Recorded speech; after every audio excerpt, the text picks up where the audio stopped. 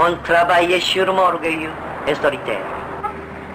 Mais dans ce monde, comment ne pas faire une architecture qui s'installe dans l'orgueil ou qui reste solitaire?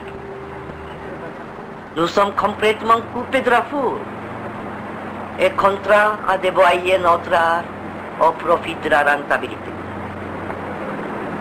Dans le montage plus loin, il y a une petite maison au bord d'un lac.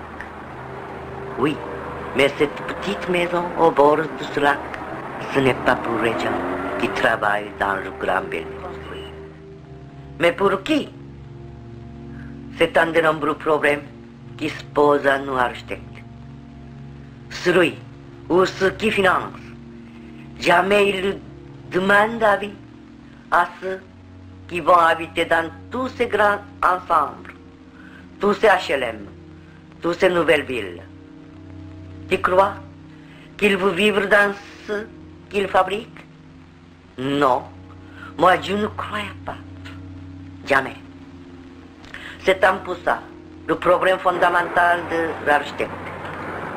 On ne construit plus pour les hommes. C'est vrai, tu sais. On ne construit plus du tout pour les hommes.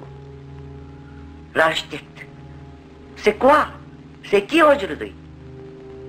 Un simple rouage d'une gigantesque machine à vêtre. La modernisation forcée.